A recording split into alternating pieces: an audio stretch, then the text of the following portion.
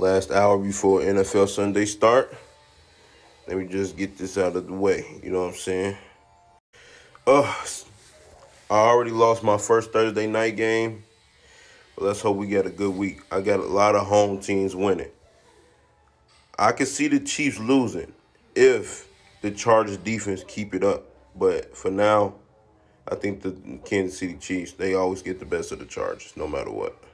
And then in Chicago, we got a um, two backup quarterbacks going at it. It's going to be a low scoring game, in my opinion. Probably Bears. My Bears about 17 to 6 type of game. You feel me? Now, the game to watch in the early window is the Ravens and Lions game. That's going to be a good one. I think it's going to have another dramatic finish like last time they went against each other. You know what I'm saying? So watch out for that one. But I got the Ravens. Now that I'm looking at the Sunday night game. I know y'all probably looking confused at it because I accidentally put pointed at both teams, but I'm going with the Dolphins, bro. Uh, the Eagles is tough to beat. I mean, they do get a tough defense and all, but I think the Eagles haven't seen a high power offense like the um, Dolphins. So we'll see how that goes out. But I think Miami will win by like seven points.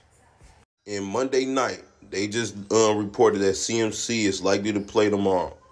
So I got him tearing shit up against Minnesota. Other than that, let's watch football.